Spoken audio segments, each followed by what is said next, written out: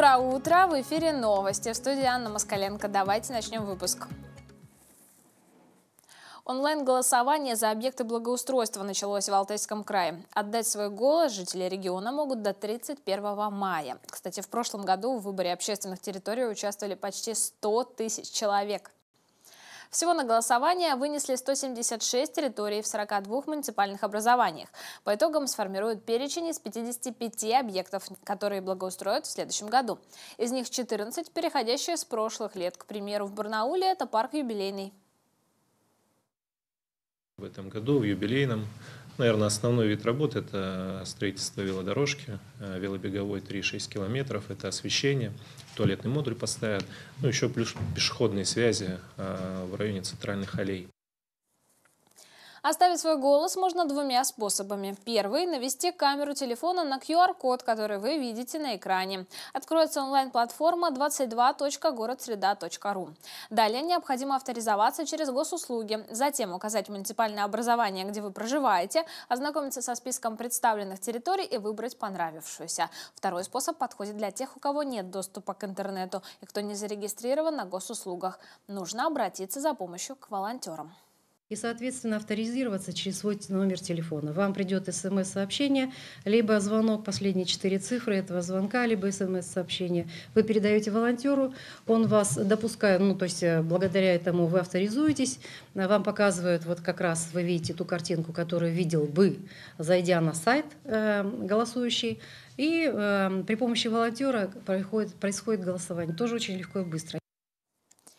Барнаульцам в этом году на выбор представили 37 общественных территорий. По итогам голосования определят только один объект, который благоустроят в 2024 году за счет средств национального проекта «Жилье и городская среда».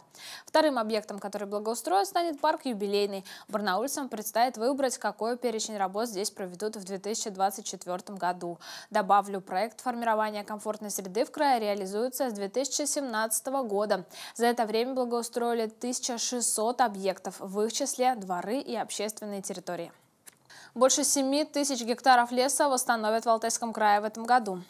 Семь лесопитомников региона уже готовятся к началу работ. Специалисты выращивают саженцы для восстановления леса. Ими будут засеивать территории, пострадавшие от пожаров, вырубки и засухи. Среди территорий Егорьевский, Угловский и Ключевский районы, а также Приобье и Салаирский кряж. Сосны выращивают в кассетах с закрытой корневой системой, поэтому они легко переносят транспортировку и быстро приживаются в открытом грунте.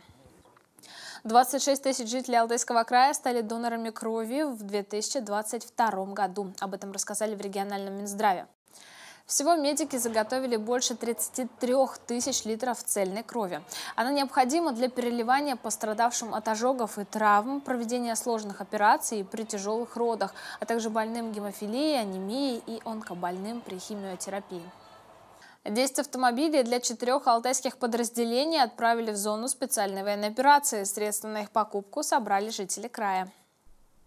Сбор открыли после видеоролика командира разведывательной роды Алтайского полка, опубликованного в социальных сетях. Военнослужащий просил помочь с приобретением автомобиля для перевозки бойцов, а также продуктов и дров. Мы увидели в социальных сетях обращения вместе уже с МЧС, Союзом ветеранов Афганистана, с общественными организациями организовали такой вот сбор средств, направления автомобилей. Уверены, что они помогут нашим бойцам на фронте. Жители региона могли пожертвовать средства через общественные организации. Сообщество помощи участникам СВО «Добрая воля-22» и региональное отделение Общероссийской организации военных инвалидов. Перевозку организовали благодаря Алтайскому фонду поддержки регионального сотрудничества и развития.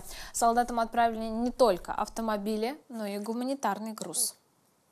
Будут отправлены индивидуальные посылки, будут отправлены средства связи, будут отправлены спутниковые антенны, а, будет, от, будет отправлено обмундирование, то есть то, что непосредственно запрашивали у нас военнослужащие. Детский мюзикл на языке жестов представят в Алтайском государственном университете.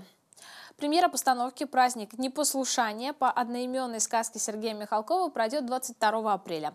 На сцену выйдут около 100 человек.